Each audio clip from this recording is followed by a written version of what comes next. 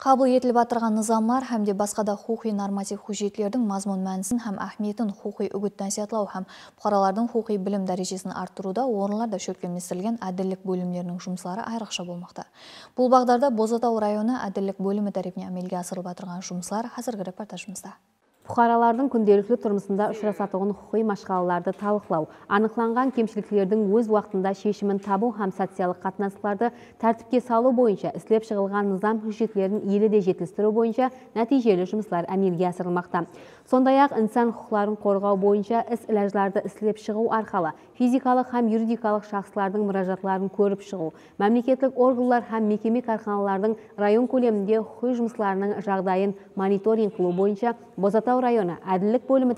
бір қатар жұмыстар алып барылмақта. Әділдік бөліміне өткен жылы лома жәмі болып 25 физикалық шақсылардан 25 мұражат келіп түсіп олардың 23-і қанатландырылды екеуіне ұқы түсінік берілді. Қанатландырылған арзалардан 22-сі тиісті рәуіште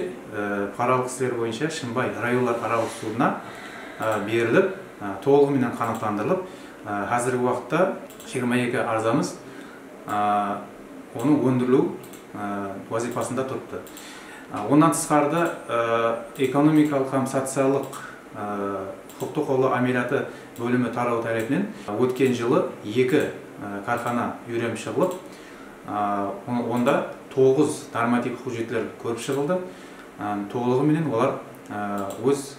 жұмағын тапты бөлім тарапынан бұқаралардың мұражаты тикарында бұзылған құқыларын қайта тіклеуде құқи мәслихат беру арқылы басқа да юридикалық жәрдемдер көрсетілмекте. Ал мемлекетімізде қабыл етіліп атырған нызам қарар һәм пәрмалардың мазмұн мәнісін ахметін кең жәмиетшілікке түсіндіру арқылы олардың орынлануы тиісті тәртіпте қадағалауға алынған.